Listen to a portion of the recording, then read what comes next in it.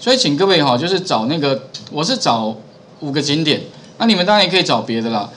我是觉得那个 Google Map 现在已经做得非常好了。比如上个礼拜跟各位讲，就是说这地方哈，你可以找宜兰。然后像我出去的时候，我会习惯什么？找到一个好的景点，然后我会先用什么方式啊？比如说我找这附近有什么好景点的话，那我就在这边打个景点。我上个礼拜跟各位讲过嘛，景点哈，或者是打什么餐厅之类的哈。然后按搜寻之后哈，我的习惯是这样，再找评分，如果是四颗星以上的，好，四颗星以上的有没有？按完成，它就帮你列出来了。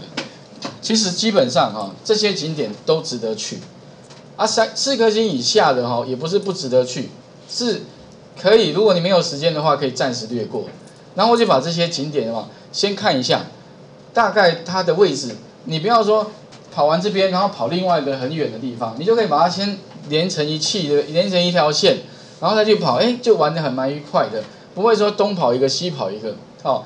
啊，另外的话还可以看里面的评论，比如说上个礼拜跟各位讲过嘛，就会有一个什么，比如说这个好了，这个就会有人去之后，他四点三呃四点二颗星，对不对？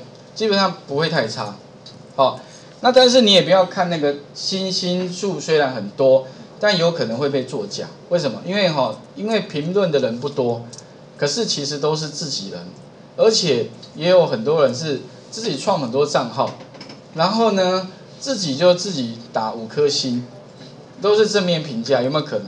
一定是。那可是如果你小量可以啦，你大量就不行了，啊，就像我一个人，我十几个账号都有可能啊。我一个人自问自答，哦，对不对？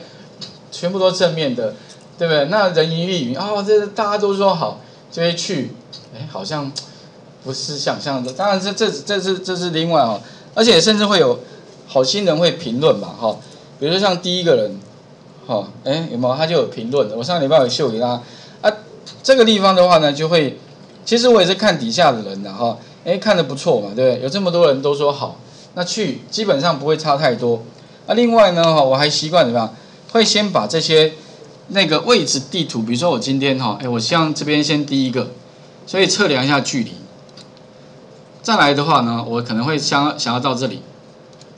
然后呢，我可能还会想要到这边，然后呢，我可能还会想要到这边，还要到到这边，好，然后中间可能会岔开来，好，到这边，哎，所以你会发现哈，它这边有个新的功能啊，测量距离，因为我觉得这功能还蛮不错的，好，也可以善用。然后呢，每一个每一个点，比如说你到一个地方不错的话，哎，那可以把它清除，哦，测量完之后，甚至你可以点击它了。我的习惯这样哈。点击它之后的话，这边有个星号，把它储存。储存之后有没有？你会发现哦，这上面都有星星星，这是表示什么？表示我储存的。那我以后在我手机里面可以看到，我就知道那个是我储存的。就是在网页上找到，在手机上面怎么样可以看到，而且一模一样哦。因为我是登录同个账号，还蛮管用的。好，而且不是只有在台湾旅游可以这样做。国外旅游也是一样，啊，比如说我常不，我蛮喜欢自由行，比如说日本啊，我就先设定几个点，然后就把它哎设定星号，然后到附近的时候我说啊这附近有好玩的，或者直接怎么样，还可以利用什么传送到你的手机，哪一只手机这只手机传送过去之后会怎么样，手机就会收到了，然后呢按下就可以导航了，多好，对不对？所以我就这样子啊，出门前哎先设定好，对不对？先找四颗星的，所以我找景点还非常快，而且几乎哦，出去玩的品质都不错，好，正面评价都还蛮高的，所以家人都觉得还蛮开心的，好，而且有的时候哈，即便到那家店哦，突然那家店没开，我也可以马上找到另外一家店，而且去了大家都说好，所以只要出去玩，大家都好像觉得跟着我就对了，哦，不过这样也有压力啦，但是我没有 特别做什么事。其实我只是利用 Google Map 啦哈，所以这边的话提供一些参考。另外，Google Map 的导航功能之前真的不怎么样，但是现在越做越好，哈。可是哈，如果跟真的 g a m i 比起来，还是有一段距离。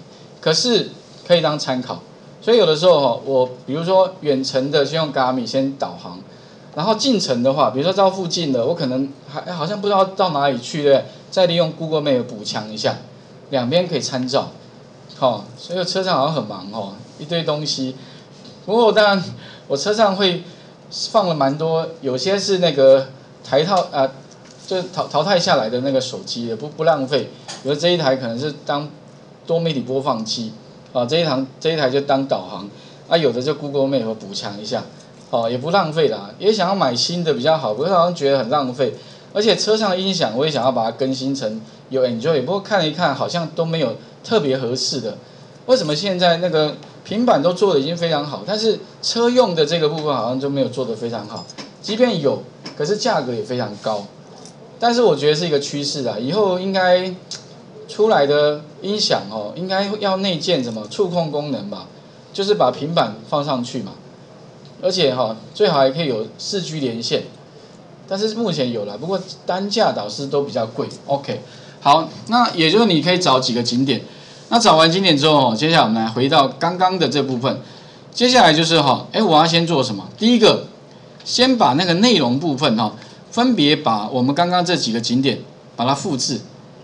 啊，我我因为已经先找到了哈，啊，你就先把这几个这个几个景点先放在内容里面，再来做什么？做一个 list view。那 list view 我们前面讲过嘛，你可以做成什么？先项目清单，那特别注意哈，从那个记事本贴过来好像会有点问题哦，所以把这地方哦 OK 好，按个 Enter。那怎么样把它变 List View？应该还有印象吧？第一个，先把它选起来。